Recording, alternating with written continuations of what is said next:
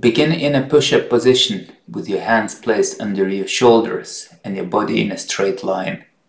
From here, bring one knee forward, aiming to touch the opposite elbow or forearm.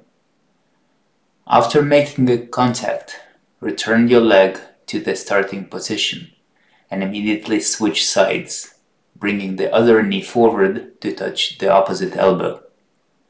Continue alternating legs for a total of 15 repetitions on each side.